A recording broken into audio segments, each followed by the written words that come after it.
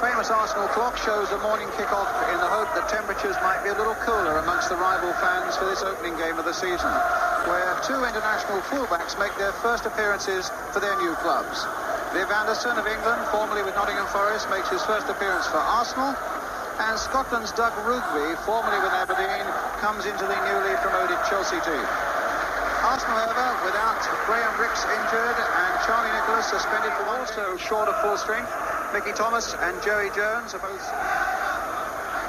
thrown towards Speedie, but it was Davis who got the header in just nice little touch there for Spackman. But on a ricochet there, Jennings will have to act again, and again his fists came to the rescue for Arsenal.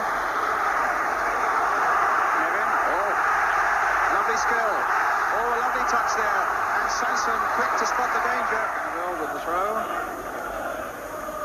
Finding Speedie. My cut for Dale Jasper.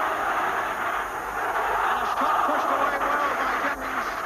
From Young. Finding Anderson. All the way through. Oh, a scorching shot, well saved.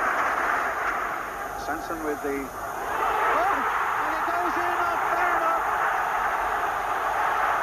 To the arrival of Paul Mariner, he's made the best possible start to the new season. And here's Woodcock. Oh, so close to being another one.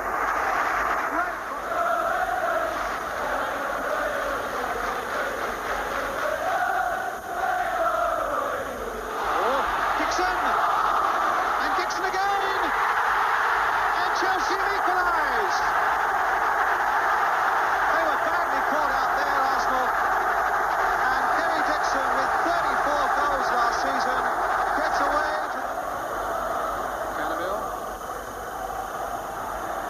Goes Nevin. And my word, Dixon was almost in there again. They've got a corner.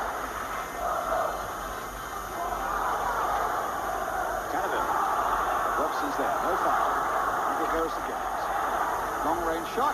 Good save by